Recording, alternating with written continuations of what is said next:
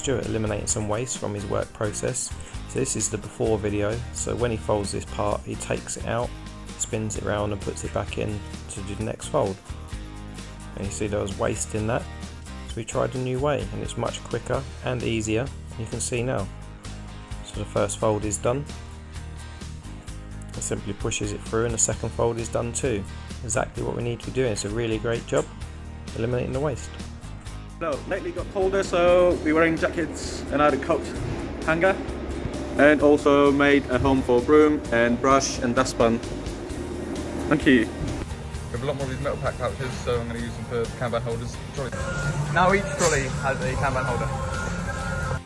This is a laser one, and when we change nozzle, we flip it over to whatever we're using. But we also have this. So this also tells you what nozzle you're using. So I'm going to get rid of this.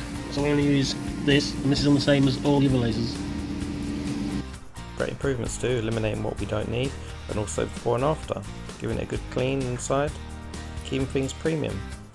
So Alex set a high stand, this is the before, this white box at the bottom is all damaged and defected after a few years of use, so we took it off, gave it all a good clean and Marius repowdered it grey for him, it looks premium, great job.